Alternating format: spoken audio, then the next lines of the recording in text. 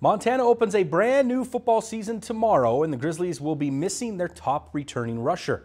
UM suspended running back Jeremy Calhoun for two games for violating the student athlete code of conduct. The Missoula County attorney confirmed to KPAX Calhoun was involved in a fight in downtown Missoula on May 5th. No one was arrested and no charges have been filed in that incident. UM will not confirm that fight caused Calhoun's suspension, but the incident would classify as a Category 1 offense in the UM Student Athlete Code of Conduct, which results in a two game suspension. Calhoun rushed for over 600 yards each of the past two seasons. With the senior out, redshirt freshman Adam Eastwood has been named the Grizzlies starter, with senior Elijah Lee also expected to see plenty of playing time. Montana kicks off the season in 25 hours. The 24th ranked Grizzlies take on number 13 Northern Iowa under the lights in Washington Grizzly Stadium Saturday night.